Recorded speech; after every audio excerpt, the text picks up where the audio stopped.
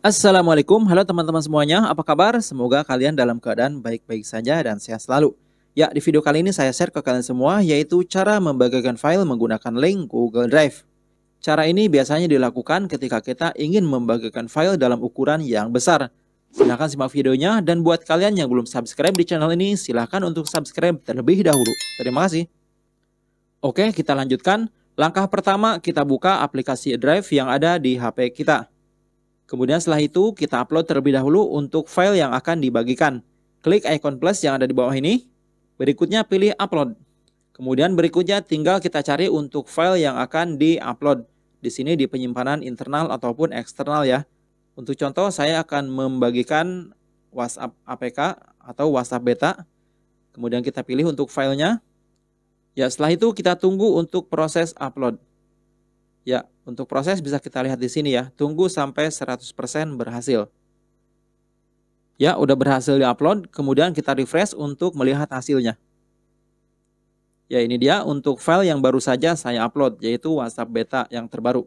Kemudian kita klik titik tiga di sini untuk mendapatkan link dan membagikannya. Kemudian sebelum membagikan, sekarang kita kelola dulu untuk yang menerima link ini supaya nanti orang yang menerima link dari kita bisa mendownloadnya secara langsung tanpa harus meminta konfirmasi. Di sini kita pilih kelola orang dan link. Kemudian untuk pembatasannya kita atur. Klik lagi di sini. Lalu pilih siapa saja yang memiliki link. Jadinya setiap orang yang kita kasih link dia langsung akan bisa mendownload tanpa meminta konfirmasi.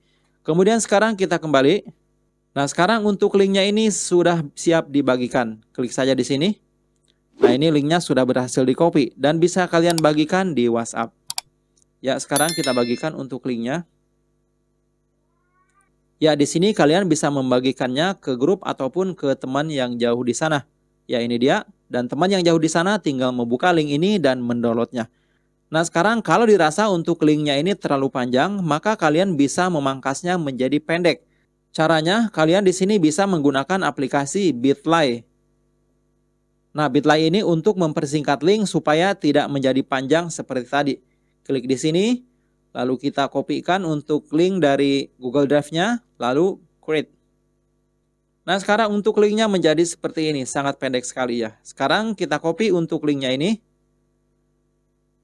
Dan berikutnya bisa kita bagikan kembali di WhatsApp atau di grup-grup lainnya. Nah, linknya menjadi pendek ya.